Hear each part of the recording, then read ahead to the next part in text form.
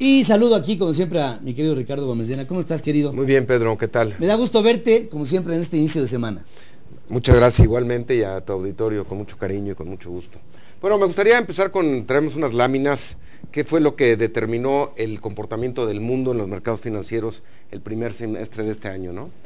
Eh, bueno, el país más grande del mundo, el 25% que es Estados Unidos, hubo dos factores. El positivo es la expectativa de aumento de tasa de interés, que si bien no se ha materializado, pues ya empezaron a subir las tasas de interés de largo plazo en Estados Unidos.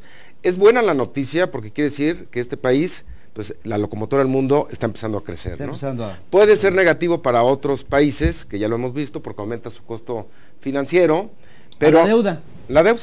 Pero la realidad es que pues, es el país más grande y está empezando a crecer. ¿no? Eh, bueno, la mala es que los indicadores de Estados Unidos todavía no logran darnos evidencia que está siendo muy fuerte el crecimiento económico. Parece que es muy similar al año pasado, donde el primer trimestre el clima afectó el crecimiento económico de Estados Unidos. Mm. Luego, si nos vamos a Europa, como bien decías, es otro 25% del mundo. Entre Europa y Estados Unidos estamos hablando del 50% del globo. Europa venía muy bien este año, y luego se nos olvidan las noticias ahorita con todo lo de Grecia, pero este año lo que hizo el presidente del Banco Central Europeo, Mario Draghi, lo que hizo fue una medicina similar a la de Estados Unidos, inyectando liquidez. Y con esto quitó el riesgo de deflación en Europa. Hay que recordar, Europa tiene dos problemas, yo ya diría tres. El primero es desempleo, el segundo era luchar contra la deflación y el tercero ahora es Grecia. Grecia. Yo diría un comentario ahí de Grecia, porque ya se ha hablado demasiado, creo que tenemos que esperar a mañana cuál es el resultado de, las primeras negociaciones. Exacto, es de lo que ahora ya se la cambiaron a Alex Tsipras, ¿no? Ahora, bueno, ¿qué quieres, no? Pero yo creo que el referéndum debía tener dos preguntas. Una es, no, o sea, no quiero austeridad, no quiero abrocharme el cinturón más, pero sí quiero seguir en el euro ¿no? Yo creo que fue lo que faltó preguntar, porque yo creo que mucha gente ni siquiera sabía si estaba respondiendo a no a la austeridad o a no a seguir al euro.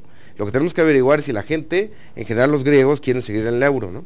Para terminar el comentario de Grecia, el, el, problema principal no es que la economía sea grande y la afectación, pero es el, como bien dijiste, Pedro, es el primer antecedente de un país saliendo de la zona euro, ¿no? Segundo, es la capacidad o la incapacidad de lograr acuerdos en la zona euro. Y la tercera puede ser un Estado fallido, donde puede haber una alineación más hacia Rusia, más hacia China, y eso es lo que no quiere también, pues, en general, los países occidentales. Bueno, y en China, bien lo has dicho, eh, China venía desacelerándose, se tomaron medidas para poder incrementar la economía. Hay que acordarnos que China crece a, tasas alrededor del 7%, por debajo del 7, lo que hizo el gobierno chino, todavía tiene margen para bajar la tasa de interés, la bajó y eso le dio gasolina a los mercados de capitales, se creó la burbuja y ahorita estamos viendo el ajuste. De hecho, la bolsa que más ha dado en el mundo este año es China y por ahí Japón también, ¿no? Después del golpazo de la semana pasada, ¿no? Sí, pero todavía sigue arriba. Todavía sigue arriba. Todavía sigue arriba. Y además va, empieza a repuntar esta semana. Así es. Y Japón, eh, siguiendo un poco el modelo, también lo que hizo fue inyectar dinero para que pudiera crecer su economía. Hay que recordar que Japón lleva crisis, no crisis, lleva poco crecimiento en los últimos 15 años. Vamos a pasar a la siguiente, por favor. A pesar de todo esto, este es el cierre al último día de junio.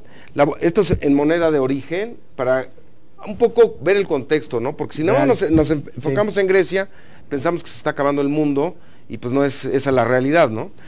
en México, la bolsa al cierre de junio ha dado 4.4, si ya lo anualizamos por dos, pues es casi el 10%. Eh, Estados Unidos, el Standard Poor's 500, que son las 500 empresas más grandes de Estados Unidos, 0.2%. O sea, sí ha resentido que todavía no hay todo ese crecimiento que se espera, pero bueno, lleva en positivo en términos de dólares. Toda Europa venía en 14% antes de lo de Grecia. ¿eh? Ahorita el, el corte de Europa, toda Europa, es 8.8% para el cierre de, junio anualizado. Pues hasta los eventos de Grecia. Hasta los Ya incorporaba algo de Grecia, pero no como se ha puesto ahorita. Pero si lo analizamos, estamos hablando del 18% anual, ¿no? Bárbaro. ¿No? Y bueno, ahí está lo que te decía de China, al cierre de junio lleva 26.6% en términos de su propia moneda. Obviamente, eh, todo el tema, y Japón 15.9, ¿no? ¿Por qué? Por las medidas que hemos visto. Entonces, hay una realidad aquí que no hay que perder de vista. Si estás diversificado, bueno, pues va a haber un ajuste que ya vimos por lo que comentamos, por el tema político que hay atrás de lo de Grecia, que puedes regresar algo de utilidades. Si vas a largo plazo, no tienes, eh, pues no tienes un problema real, ¿no? Si pasamos a la siguiente, por favor. ¿Qué esperamos? Bueno, que Estados Unidos, ¿cuáles van a ser los temas? Y yo lo resumiría en tres grandes temas para el próximo semestre. El primero es que se materialice el alza de tasa de interés en Estados Unidos, que ya se confirme, esperamos dos alzas, por ahí de septiembre, octubre o noviembre, y que la tasa de corto plazo, que es 0.25, acabe en 0.75, es decir, un aumento de medio, de medio punto en dos juntas de la Reserva Federal. Segundo, ver cómo se desenvuelve lo de Grecia y cómo afecta a toda la zona euro y todo, y cómo afecta al mundo en general. ¿Cómo puede llegar esto? Hay que recordar lo que muy bien dijiste. El precedente puede ser que Portugal, Irlanda, España, Italia, que han tenido problemas económicos, puedan decir, oye, pues ahora yo me quiero salir, ¿no? O, a ver cuánto me perdonas, ¿no? a la Troika, al Banco Central Europeo, al Fondo Monetario Internacional y a la Comunidad Europea, ¿no? Y eh, uno de los temas también que hay que ver y que hoy hizo noticia es que hay que recordar que Irán estaba bajo sanciones con el bloque occidental por la capacidad de generación de energía nuclear. Si le quitan estas sanciones, va a entrar al mercado petrolero y eso puede provocar que baje el precio del petróleo, que ha subido en este año 10%. Y eso lo empezamos a ver el día de hoy, que tuvo un incremento eh, perdón, una disminución del 5% el precio del petróleo el día de hoy. que es muy importante. Que es muy importante. Ahora, eso es en, grandes rasgos lo que esperamos. ¿Cuál es la recomendación desde Finamex, Casa Bolsa? No tomar decisiones precipitadas. Hay que recordar que, digamos, el dólar se subió mucho, no tiene que ver tanto con, o sea, lo de Grecia le afecta, pero el dólar es, el peso es la moneda que se opera, es la octava moneda en operación del mundo. Entonces, en muchos países emergentes que no te puedes cubrir contra tu propia moneda, sales y te cubres comprando dólares, vendiendo pesos. Y eso es lo que pasa muchas veces en, los mercados. Segundo, que los, que los mercados financieros se ajusten a este a suceso de Grecia tiene mucho que ver con esos flujos de hacia países emergentes o hacia países mucho más desarrollados o buscar esa, ese cambio o esa expectativa de la caída de los mercados. Pero lo que hay que recordar es que las empresas no dejan de vender. Las empresas siguen vendiendo, los negocios siguen vendiendo. Aquí es una, es una expectativa lo que mueve eh, a los mercados y por eso si yo voy a largo plazo y tengo una estrategia bien definida. bueno, pues no tengo que salir ni comprar dólares caros ni vender bolsas baratas. Al contrario, hay que dejar correr los mercados, es la recomendación desde Finamex, ver qué pasa y si digamos la bolsa de Estados Unidos está en 0.2 en lo que va el semestre, pues está en niveles muy interesantes para entrar, ¿no? Y si todavía tiene mayores ajustes, ahí hay que rebalancear los portafolios. Y eso es lo que nosotros los invitamos a hacer. Y por último, mostrarles nuestros rendimientos al auditorio, al público. Y esto es lo que traemos. Este es el 7 de 28 días. Ha pagado en lo que va del año en términos anualizados 2.94. Nuestra cartera que tiene puro instrumento gubernamental 3.99. Todos son anualizados estos rendimientos.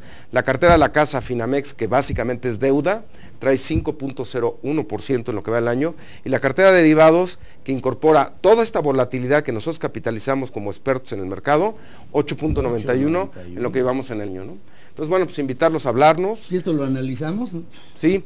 Este ya es anual. Ah, este ya es anual. Ya, sí bajó un poco, pero esta cartera en promedio lleva en los últimos cinco años el 14%. Qué bárbaro. Sí, ¿no? Por ahí andaba, el 14%. Pues eh, esto nos da un panorama. Ahora, hacia adelante, digamos de aquí hacia el cierre de lo que será este 2015. Sí, factores importantes. Que Estados Unidos pueda realmente materializar su crecimiento y el alza de tasa de interés, ¿no? y que sean esos dos aumentos, que cambie el precio del dinero en el mundo. Dos, ver mañana lo de Grecia, en términos generales. ¿no? Tres, eh, lo de Irán, si se resuelve, porque eso sí va a aventar más petróleo al mundo. Al mundo. ¿no? Y bueno, el tema es, si se resuelve Grecia, entonces Europa tiene más posibilidades de salir. Si Grecia no se resuelve, entonces sí podemos tener un problema del 25% del mundo con desaceleración, ¿no? Por todo el impacto económico y político que puede tener. Y finalmente estar pendiente de China. China, la segunda economía más grande del mundo, pues tiene mucha repercusión porque se, se enfrena China, pues muchos países como Brasil, que le exportan a China, pues también se van a sufrir por esa, por esa desaceleración si la tiene China, ¿no? Pero lo interesante es que tanto China y Japón y Europa están con estímulos monetarios para salir adelante. Pero esos son los factores más importantes que están viendo para el segundo semestre. Ahí están los factores más importantes para un segundo semestre de un año con muchas variables y que nos llevarán, en el caso mexicano, a eh, preparar, veremos, yo creo que uno de los temas recurrentes que estaremos sintiendo con ustedes de aquí hacia el final del año es esta iniciativa de presupuesto base ah, cero. Así es, para el 2016.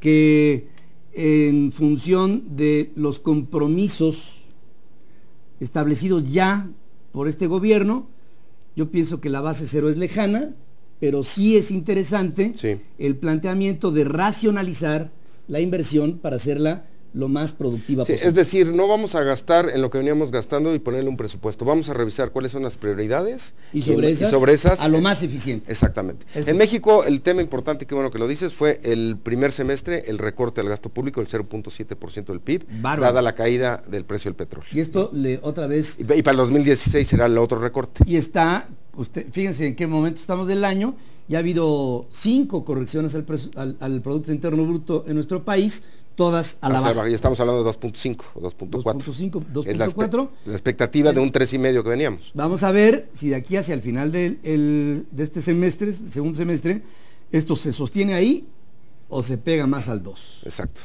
Es, es el crecimiento natural, quiere decir sin desarrollo económico. El inercial sin desarrollo económico.